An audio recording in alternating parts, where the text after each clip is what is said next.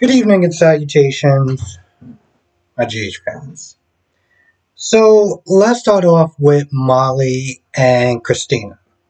After get what seven to ten minutes of um them talking about how Molly has never been to her apartment for some odd reason, um they get into the whole surrogacy thing. And I thought this conversation was here's the thing. Part of me appreciated this conversation.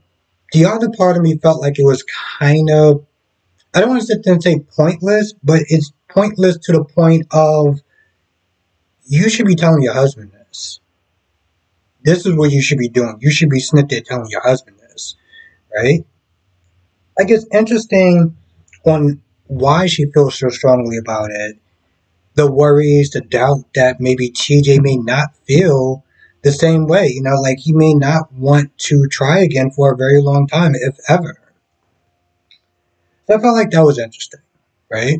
You can you can see the I don't want to sit there and say desperation, but just how much she actually wants um to have this child and to be a mother. But in some way it's kind of pointless because it's like you're going behind his back, you're you're looking at these potential surrogates, you're, you're talking to this agency, you're doing this all without TJ's knowledge. So when he finds out, he's going to have another argument with you. It didn't seem like you enjoyed the last one, so why are you putting yourself through that again? And then, of course, Kristina's like, you know, listen, I'll be a surrogate, which is a really bad idea. First of all, like Dolomitics pointed out, it's not a good idea for first time mothers to be snipped there um, being a surrogate. Two, you're way too close. Okay? You're way too close to, know, every time you have like dinners and parties and birthdays and celebrations, she's going to be sitting there looking at that child. Of course, also being a first time mother and being like, just sad and heartbroken by the fact that she gave that child to Molly.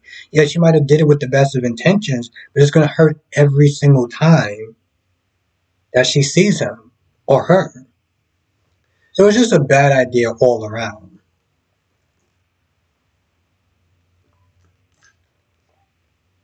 And of course, how's TJ going to feel about that? So it was just all sorts of really messy I think they personally should probably go with another surrogacy. But, you know, this is a soap opera, so we're going to sit there and make sure it's as drama, you know, drama, you know, dramatic whatever as possible. So that's what they're going to go with, even though it's like, yeah, this is a bad idea. So Sonny and Dex meets Pikeman again. And, you know, Sonny's like, listen, I'm not going to be doing any deals with you until you find out who's a shooter. And the guy from Pikeman is like, yo, we're not, we're, we're not the cops. We're not, you know, we don't, who shot you, who shot at you? Like, that's, that's not our issue. We need you to sit there and move product. So you can, I don't know why you keep asking that question pretty much. And they give him double the money to, to move this stuff around. Sonny says no. And Dex is like, that was a bad idea. Sonny thinks that, well, I'll be more trouble than I'm worth, so they'll just sit there and move on. Really? Because even Valentine said to him, yo, um, these people are dangerous.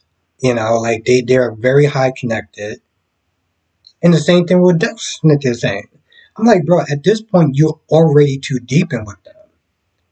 And, you know, Dex is like, you know, he said that they can sit there and just see you as trouble as an obstacle and just remove you and find somebody else sit there and that will sit there and, and play ball. It's like, Sonny, you got yourself into a situation.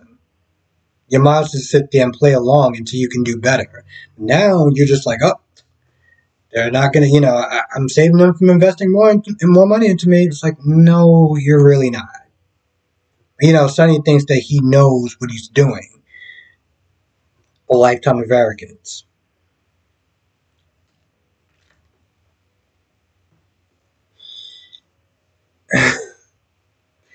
okay, so let's get into the whole Lois, Brook Lynn, and chasing. There's something that Lois says because they're you know they're in the kitchen they're, they're drinking wine they're they're chopping up onions and stuff like that and Chase is like oh man you know so impressive that you're able to sit there and do that you know while having those nails on and she says something that I'm not going to repeat and it's kind of an innuendo I'm just like so uh, what, what what else could you do with those nails? I mean just you know just ask them for a friend. Listen I don't kink shame. For most things that's what I'll sit there and say. Now, she does bring up, you know, Gloria, the whole marriage thing, putting Chase on the spot. Brook Lynn is practically jumping out of her skin. She is definitely overreacting because Chase does not seem like he's that bothered, that vexed by. He seems like he's totally fine. It's like, why are you so? You know what I'm saying? Like, why? Why are you so like embarrassed? It's like he moved on past it. You should have did the same thing a long time ago. And so when Lois leaves, you know, Brook Lynn just, you know, apologizes like, oh, you know, I don't want them to put any pressure on you, be off in your face about it, this, that, and the third. They start talking about weddings. And then Chase is just like, you want to get married? And he proposes to her, and it was just like, that kind of seemed like that came out of nowhere. Um, I mean, I get it to some extent when you know you know, but it just also seemed like it came out of left field. It was like it wasn't that long ago that she just moved in, like less than a couple of months, and you're already there ready to jump the broom or whatever the hell do you want to call it.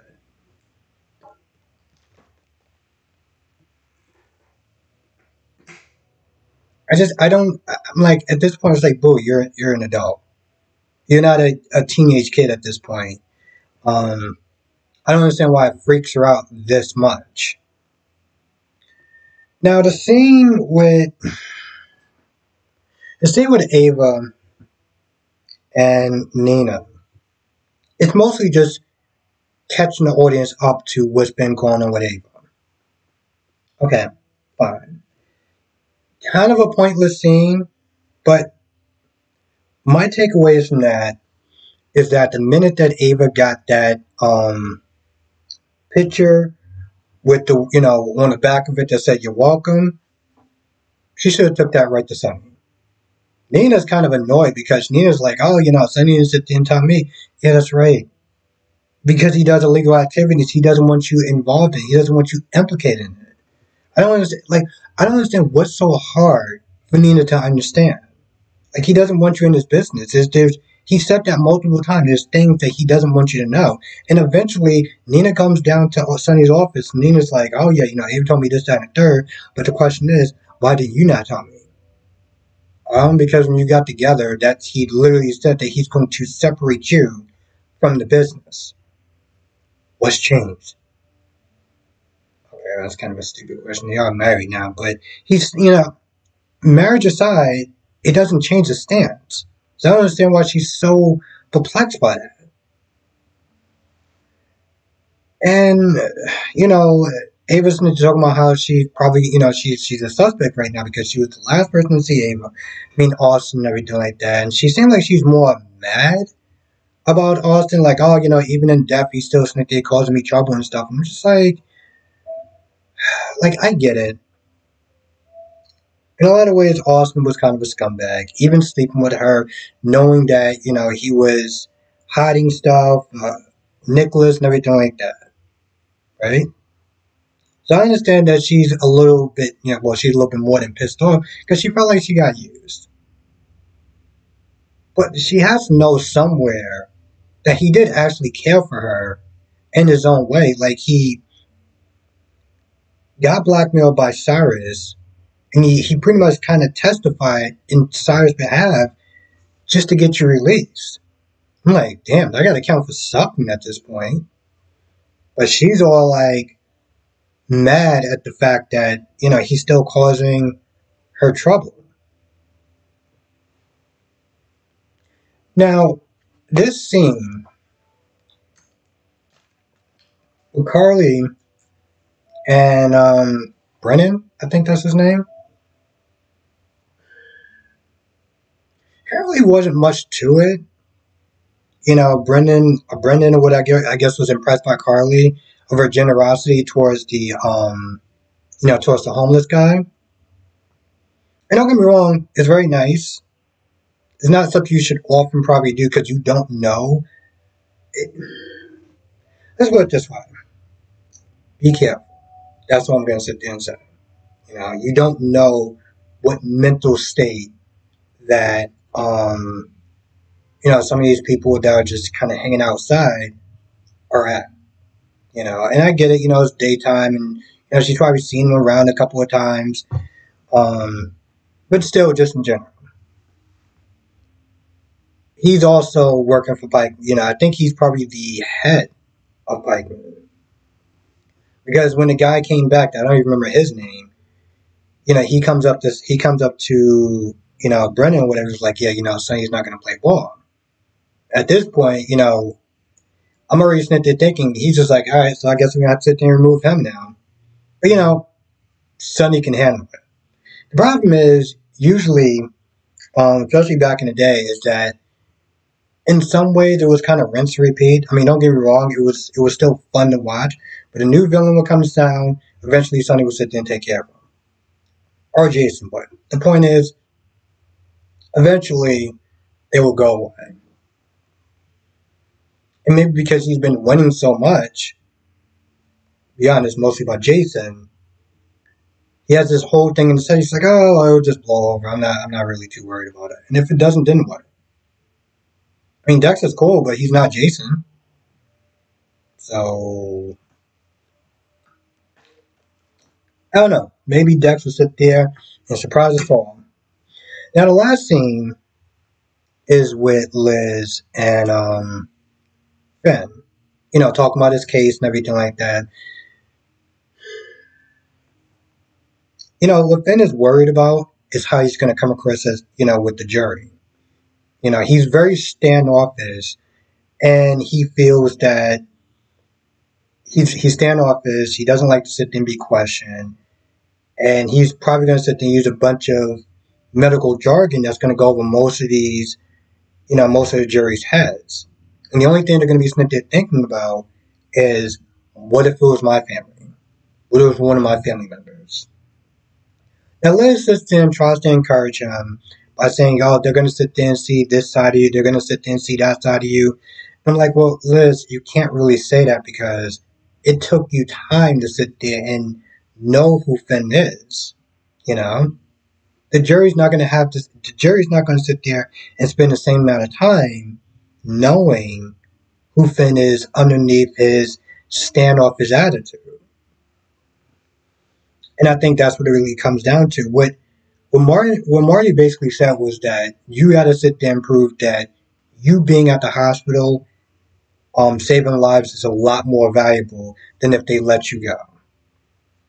And I guess Liz is just like, maybe we can sit there and work on you being more likable. Okay.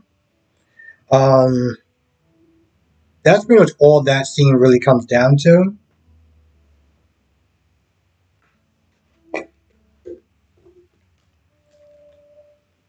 You know, I feel kind of bad for the Liz and Finn fans because that was literally probably the weakest part of this whole episode was that besides the Ava and Nina scene, that's just literally because they just recycled everything that wound up happening. That was probably the weakest, like maybe okay, maybe the second weakest part. Um, because I really want to sit there and get into this whole jury jury trial thing and everything like that. I feel like that would be really interesting. Because let's be honest, um, nine times out of ten, their scenes are weak. They're weak, they're pointless, and you generally just don't really want to caring. And it's sad because you do actually have two great characters. I know people sit there and give Ben whatever a lot of slack or whatever, but I, I like Michael Easton. I feel like they could actually do something good with him. Um, I don't I don't think it's the actor's fault because he's been in the soap opera realm before when he was on Port Charles, when he was Caleb, when he was John McBain. So if you give him something to do that's interesting, it'll work out great. And Rebecca or Becky, whatever the hell you want to sit there and call her, Liz, She's a great character when you give her something to do. When we have these scenes of them, I don't know, outside trying to gather maple sap and making out in the shower and stuff like that, it's like, really? That's the best you could sit there and give them? So I feel bad for the fans that actually do like them because they don't give them anything interesting. Yeah, this isn't for me. This is an interesting storyline so far. We just gotta get there to see how it plays out, and hopefully it doesn't play out like that glorious scene of um the mob guy Petro and Yuri. Because I was like, oh man, you know, Yuri seems like he's gonna, you know, it's gonna be really interesting. He talks about how, oh, you know, sometimes I'm nice and sometimes I'm not, or something like that.